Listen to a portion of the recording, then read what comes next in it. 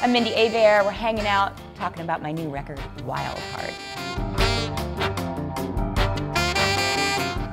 This record is, is different than the rest of my records. I used inspiration from the past couple years of my life.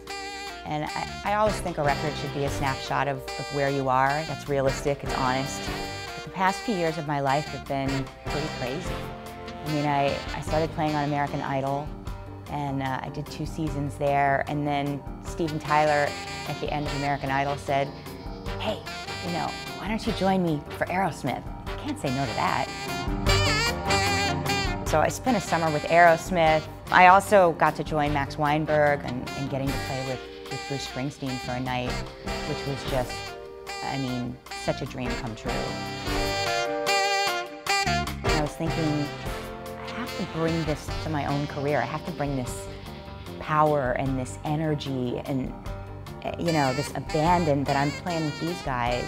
I wanted to create music, to write music that was different, that I could really play with that type of, of energy and power and, and just have it be that inspiring sound that I was getting every night on the road.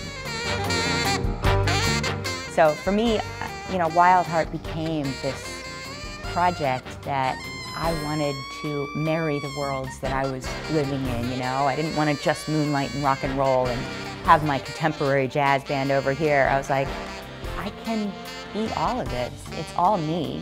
So why not, you know, really work to make this record something that can be bigger. I kind of wanted to delve back into the days when saxophone was a mainstream instrument.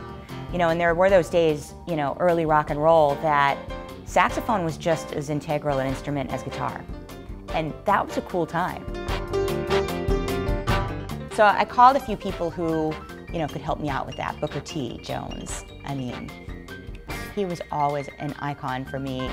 And I must have called 20 people to see who knew him, that they could hook me up with him.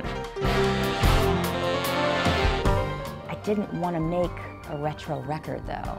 I wanted to take inspiration from them, but make a record in 2014. I love the fact that, that this year's tour is shaping up as something that people are sitting in on or we're booking gigs with you know some of the people that I worked with on this CD. We get to play together, we get to make music together and you know for my money I want to make music on stage and off with people that I love and people that inspire me. Thanks so much for hanging out with me, checking out my new record, Wild Heart, and I hope to see you on tour.